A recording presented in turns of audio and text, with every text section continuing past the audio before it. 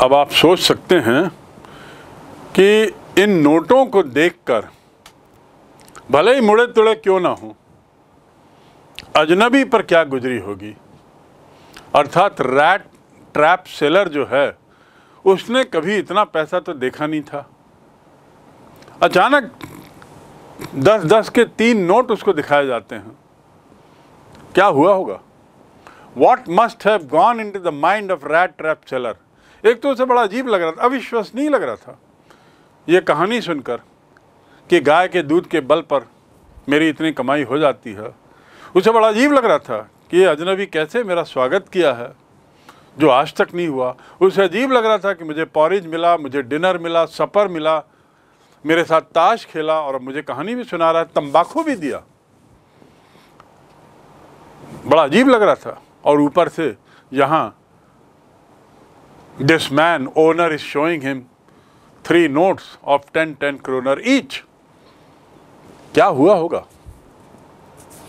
The next day well after that showing the notes he held up before the eyes of his guest उसकी आँख के सामने वो note को दिखाया नॉडिंग नोइंगली सिर हिलाया and then stuff them back into the pouch to stuff back to stuff मतलब डाल देना स्टफ़ मतलब भर देना don't stuff your mouth with too much food अपने मुँह में खूब ज़्यादा खाना मत भकोसो स्टफ़ करना मतलब भकोसना भर देना टाइट भर देना don't stuff your suitcase with lot of things अपने सूट केस को बहुत सारी चीज़ों से मत भरो ठूसो मत स्टफ़ करना मतलब ठूस देना भर देना बकोस देना so what he did nodding knowingly nod किया, सिर हिलाना, सिर हिलाया। देखा ये नोट एंड देन और उसके बाद ही stuff them back into the pouch वापस पाउच में उसको भर दिया। दिखा के वापस उसको डाल दिया चमड़े के बैग में। ठीक? रात हो जाती है, ये लोग सोते हैं।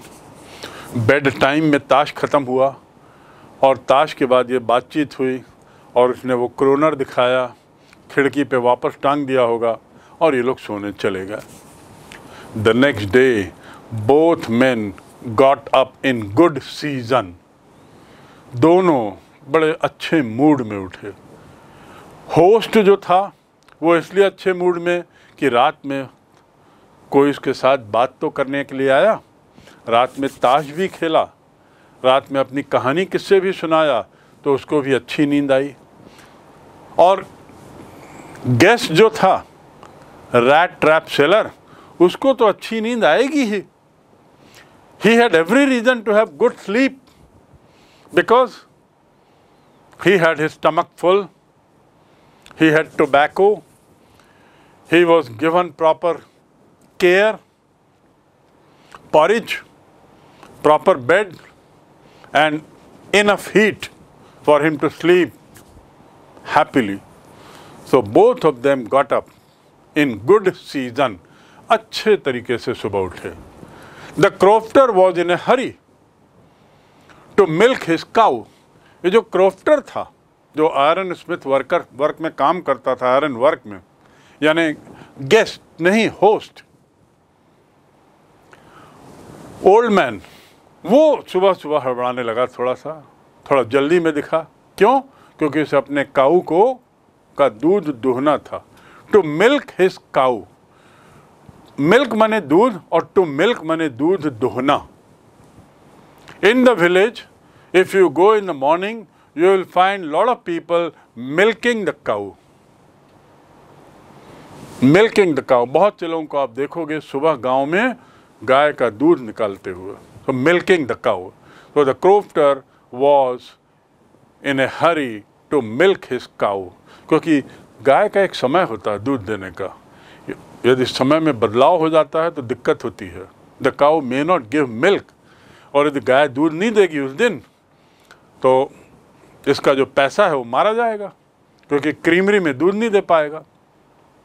And the other man probably thought he should not stay in bed when he had when the head of the house had gotten up एक और जो होस्ट था वो जल्दी में था क्योंकि उसको गाय का दूध दुहना था।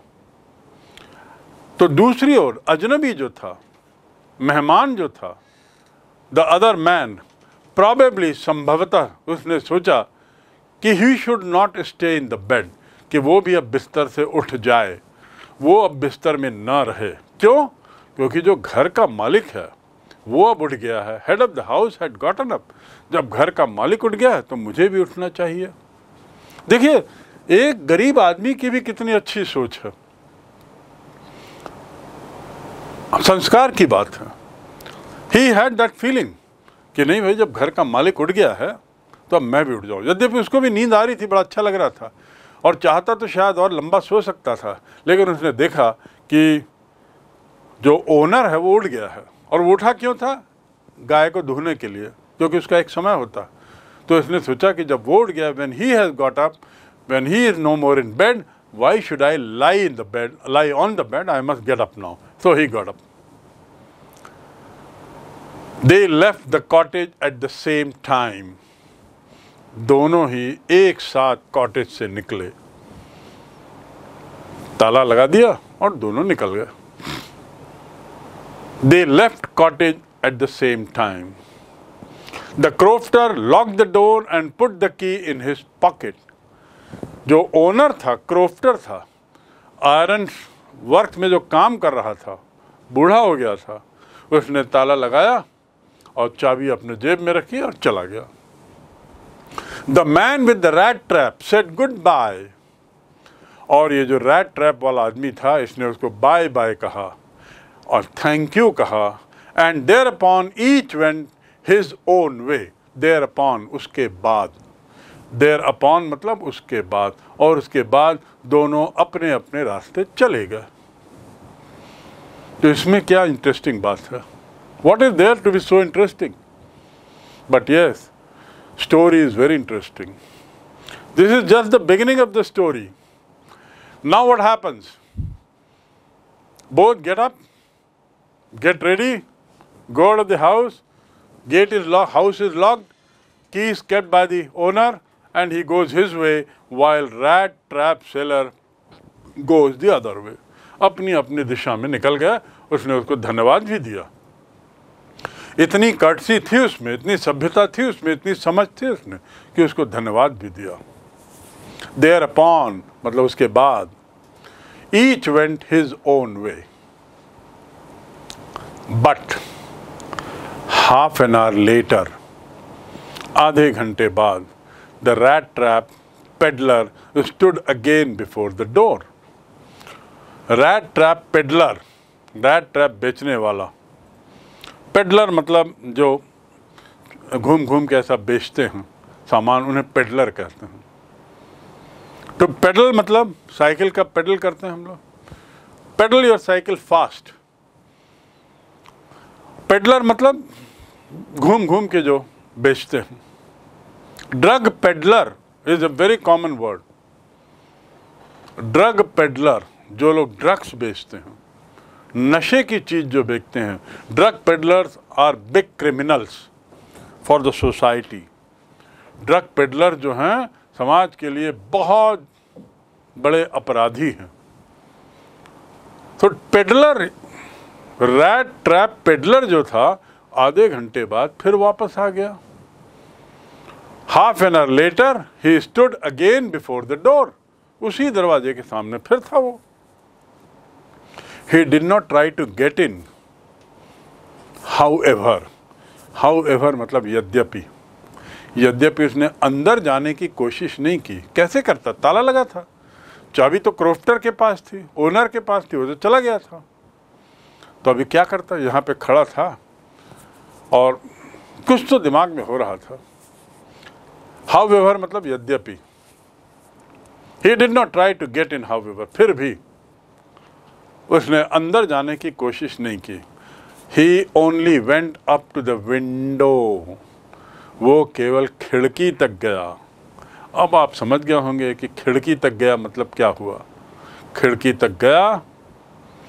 स्मैश्ड ए पेन स्मैश करना मतलब मारना। ज़ोर से मुक्का मारा।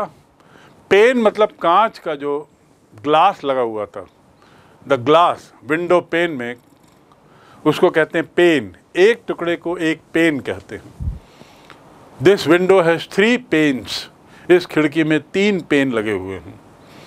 So he broke one pane smashed one pane smash करना मतलब ज़ोर से मारना। उन्हें ज़ोर से हाथ मारा।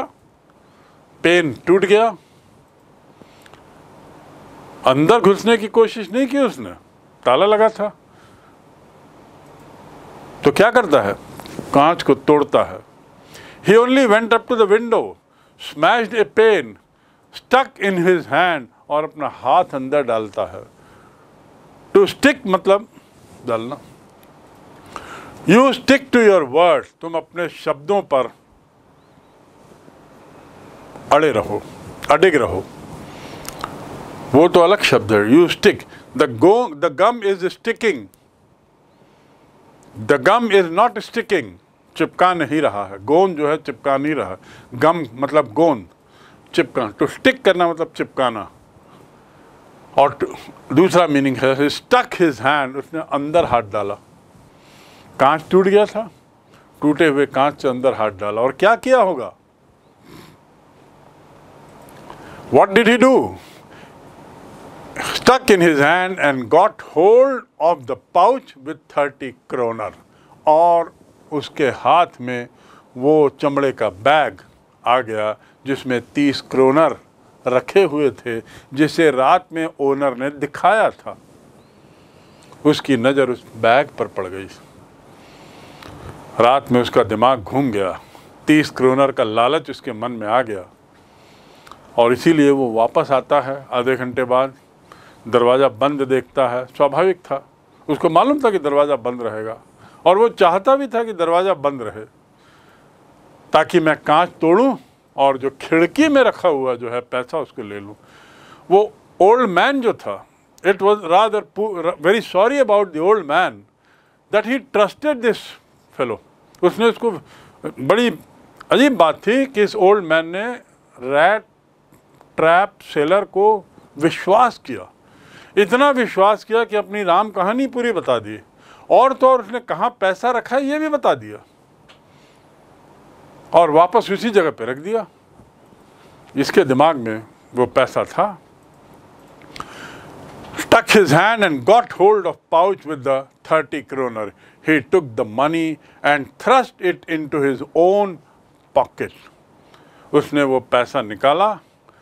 Thrust it into his own pocket अपनी जेब में डाल दिया। थ्रस्ट करना मतलब थोड़ा ज़ोर दे के डालना जो अंदर तक हाथ पहुँचाया ताकि वो पैसा गिर ना जाए। ये सुनिश्चित करने के लिए कि पैसा गिर ना जाए उसने अंदर तक हाथ से दबाव बनाया। He thrust his hand after smashing the pane stuck his hand, took out the bag, took out the money, thrust the money in his pocket, and put the bag back. Then he hung the leather pouch very carefully back in its place. बड़ी सावधानी से उसने वे चमड़े के bag को उसी जगह पर वापस रख दिया एंड वेंट अवे और फिर चला गया अर्थात उसने एक चोरी की उसने विश्वासघात भी किया इतने विश्वास से ओनर ने रखा था, धोखा दिया। ओनर स्वयं भी कोई अमीर नहीं था। पूरी मेहनत की कमाई उसकी लेके चलते बना। बट आगे क्या होता है वो देखेंगे। फ़िलहाल what you should know is that he put the money in his pocket put the bag at its place exactly the same way as it was before and went away निकल गया। तो अब आप समझ सकते हैं कि किसी को भी गोपनीय बातें बताना कितना महँगा पड़ सकता है। खाना पीना दो, आराम के लिए किसी को आपने सुविधा दी, लेकिन एक अनजाने व्यक्ति को अपनी सारी बातें आप बता रहे हैं so that's not proper and you know how rat trap seller took advantage of it कैसे उसने उसका फ़ायदा लिया? साथ ही समृद्ध के दिनों में, अच्छे दिनों में, ये जो आदमी था, होस्ट, ओनर, क्रॉफ्टर, अर्थात क्रॉफ्टर मतलब बाड़े वाला, आयरन वर्क्स में वो एक बाड़े वाला था, ज़मीन पे काम कर चुका था। तो इसलिए उसको कुछ आइडिया भी था, गाय वगैरह बनाने, रखने का और साथ ही और बेचारा खुले दिल का था। सारी कहानी उसने बता दी, पैसा भी तक दिखा दिया। और ये अगले दिन सुबह निकल भी गया, लेकिन दिमाग में तो था कि वो पैसा वहाँ रखा हुआ है, क्या मैं उसे चुरा सकता हूँ? और वापस पहुँचा और निकाल लिया। As he walked along with the money in his pocket as he walked along जैसे जैसे वो चलता गया with the money in his pocket अपनी जेब में पैसा रख के जैसे जैसे वो आगे बढ़ता गया he felt quite pleased with his smartness अपने स्मार्टनेस से बड़ा खुश था वो। अब स्मार्ट होना मतलब अपनी चालाकी से। और क्या चालाकी थी? कि उसकी नज़र थी कि वहाँ पर थैली वापस रख दिया है, और उसने सोच भी लिया होगा रात भर में कि उसको कैसे तोड़ूँगा। और इसीलिए शायद उसने फुर्ती फुर्ती में, ताकि ओनर को शक ना हो, उसी के साथ बाहर भी चला गया, बोले, नहीं, बस चलता हूँ, निकलता हूँ, और निकल भी गया। So he felt quite pleased with his smartness और अब अपने स्मार्टनेस पे खुश भी था, कि देखो, मैंने कैसे उसको बेवकूफ़ बनाया, किसको? ओनर को। ओनर आएगा, बैग देखेगा, पैसा गायब, समझ में नहीं आएगा। He realise of course that at first he dare not continue on the public highway. He realized, उसने महसूस किया कि पहली बात तो ये he dare not continue on the public highway to dare करना मतलब साहस दिखाना। कि वो जो सड़क है जिस पे वो चल रहा है उस पर लगातार चलना का साहस न दिखाए। क्यों? इसका मतलब क्या? दिशा बदल लो। कहीं और कट लो, जैसे हम बोलते हैं सामान्य भाषा में। क्योंकि उस रोड पे चल रहे हो, कहीं ओनर वापस आएगा, पैसा नहीं मिलेगा तो खोजते खोजते इसी रोड पे तो आएगा वो। तो I dare not walk on this road I dare not continue on this road you dare not talk to me तुम मुझसे बात करने की हिम्मत मत करो। You dare not go against my order मेरे आदेश के खिलाफ जाने की हिम्मत मत करो। Dare this man is very daring ये आदमी जो है, बहुत दुस्साहस वाला आदमी है। वेरी डेयरिंग डेयरिंग मतलब दुस्साहसी। सो ही रियलाइज़ ऑफकोर्स मतलब बिल्कुल सही that at first he dare not continue on the public highway, but must turn off the road into the woods. और इस सड़क से उतर जाए। ऑफ़ द रोड ऑफ़ मैंने मतलब कहा जहाँ अलग होते हैं। इस सड़क से अलग हो जाए। ओ डबल एफ़ ऑफ़ जहाँ आता है उसमें सेपरेशन अलग होने की बात आती है। तो उसने कहा ये सड़क से अलग हो जाओ। और वो अलग हो गया। और कहाँ चला गया? Into the woods woods मने जंगल. W W D S woods मने जंगल. याद रखें, केवल वुड मने लकड़ी और वुड्स मने जंगल. तो बस बट मस्ट टर्न ऑफ़ और मुड़ जाना चाहिए. कहाँ? जंगल में मुड़ जाना चाहिए. वो मुड़ गया. During the first hour he this caused him no difficulty पहले एक घंटे जब वो जंगल में चला, उसे कोई तकलीफ़ नहीं हुई। अभी देखिए, बात सुबह की हो रही है। दिन की, क्योंकि सुबह सुबह दोनों अपने अपने रास्ते निकल जाते हैं। ओनर भी और रैट ट्रैप सेलर भी। और आधे घंटे बाद ये वापस आता है, पैसा चुराता है। सो सुबह का ही समय है। दिन का है, उजाला है। उस समय वो जंगल में घुस गया और एक आध डेढ़ घंटा जंगल में चला तो कोई दिक्कत नहीं। It cause him no difficulty कोई कठिनाई नहीं हुई during the first one hour later in the day it became worse later मने बाद में। जब दिन ढलने लगा तो स्थिति खराब हुई। वर्ष बने खराब। किससे बना है? वर्स्ट नहीं है। सेकंड फॉर्म में। बैड वर्स वर्स्ट स्थिति कुछ खराब हो गई। लेटर इन द डे स्थिति कुछ खराब हो गई। For it was a big and confusing forest which he had not gotten into क्योंकि अब वो एक ऐसे जंगल में घुस गया था। He had gone into a forest which was very big which was very dense which was confusing समझ में कंफ्यूज हो गया वो, कि मैं कहाँ भटक गया। एक घंटे तक वो चलते रहा मेन रोड से उतर के जंगल की सड़कों में, पगडंडियों में। जंगल है, घना जंगल। एक घंटे तक कोई दिक्कत नहीं है, लेकिन शाम ढलते ढलते थोड़ी इसकी चिंता हो गई। रास्ता भटक गया था। बहुत बड़ा जंगल था। Confusing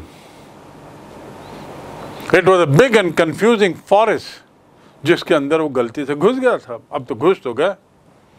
He tried to be sure to walk in a definite direction सुनिश्चित करने के लिए टू बी श्योर मतलब सुनिश्चित करने के लिए। टू बी श्योर मतलब सुनिश्चित करने के लिए। उसने कोशिश की कि वो एक निर्दित, एक निश्चित दिशा में चलता रहे। ताकि कम से कम दिशा ज्ञान के बल पर वो सही जगह तो पहुँच जाए, खुली जगह तो पहुँच जाए। He walk into a definite direction but the path twisted back and forth so strangely strangely मतलब बड़ा अजीब तरीके से। ट्विस्टेड मतलब मुड़ना, टेढ़ा मेढ़ा होना। उसने कोशिश उसने तय किया कि मैं एक अब, एक भैया, एक एक ही दिशा में चलूँ मैं। ऐसा उसने तय किया और चलते रहा। लेकिन क्या देखता है कि वो जो रास्ता है, पाथ है, वो स्वयं गोल मटो घुमावदार है। गोल मोल है, ट्विस्टेड है तोड़ मोड़ है उसमें। कभी इस दिशा में जा रहा, कभी उस दिशा बदल रही, उसकी कभी इधर, इस दिशा में जा रहा तो और परेशान हो गया। सो so स्ट्रेंजली, बड़े अजीब तरीके से वो सड़कें, सड़क मुड़ रही थी।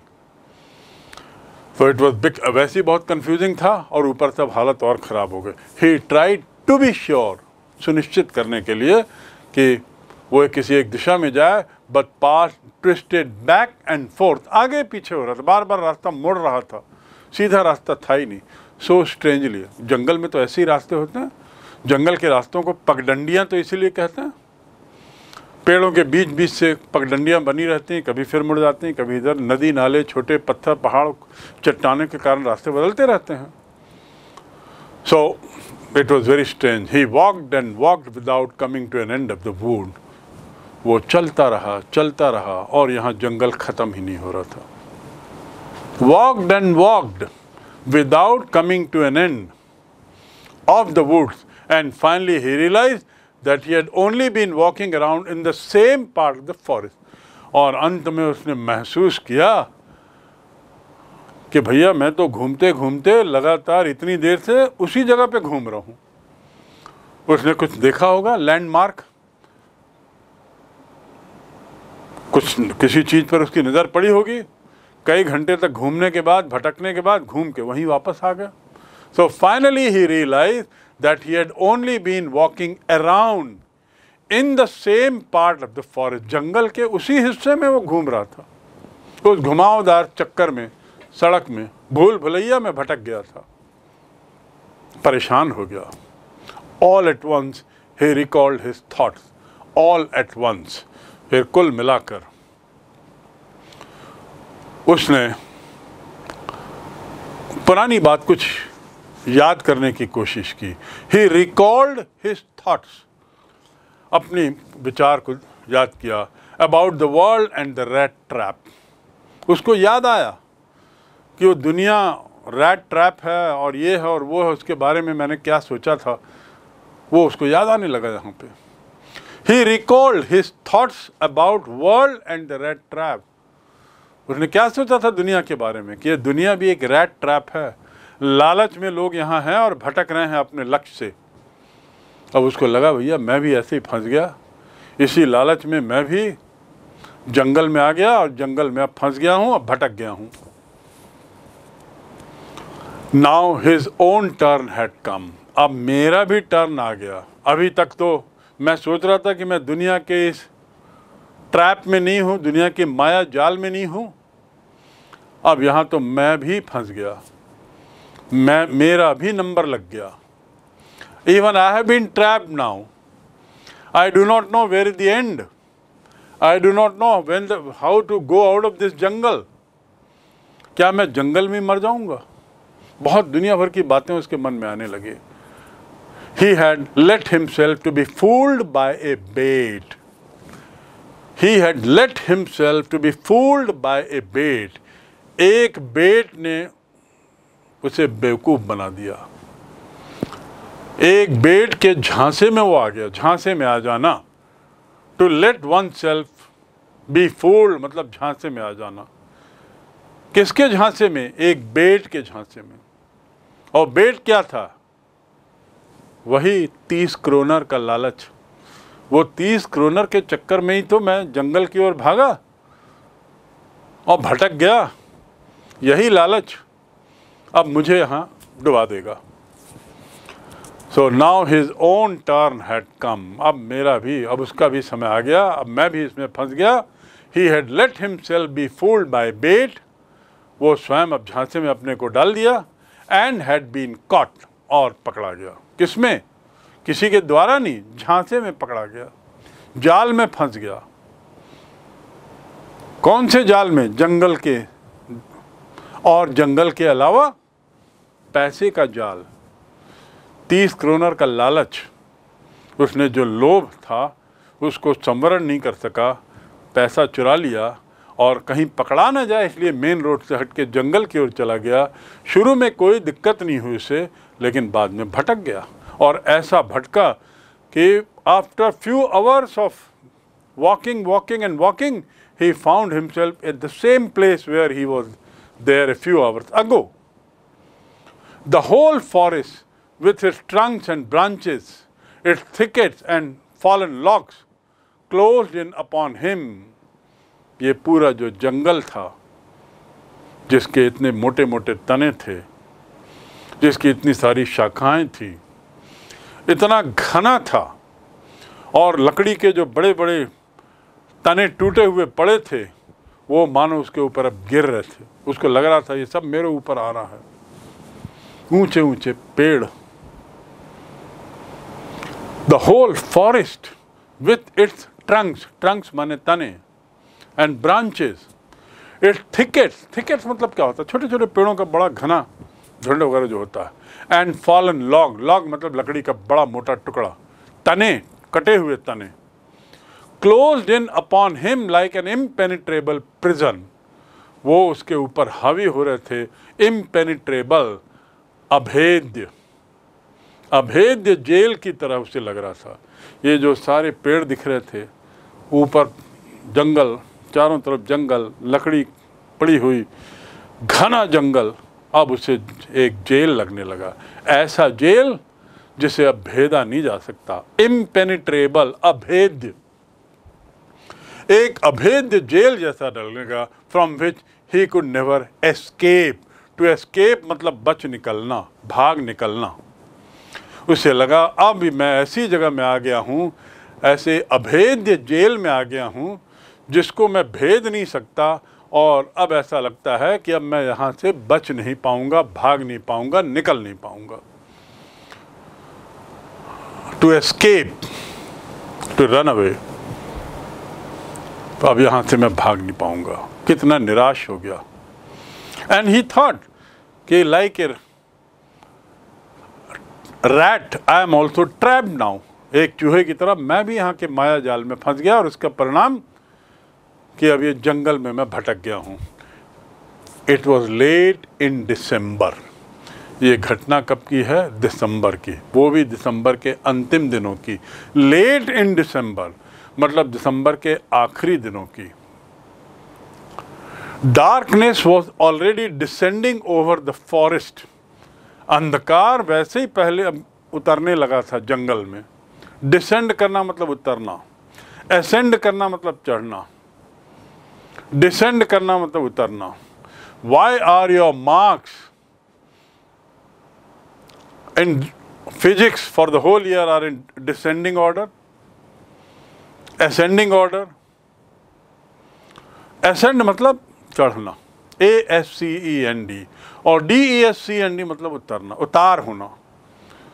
तो डार्कनेस जो थी, अंधकार जो था, वो अब उतार पर था। अर्थात जंगल में अब अंधेरा छाने लग रहा था। रात होने जा रही थी। दिसंबर की ठंड थी।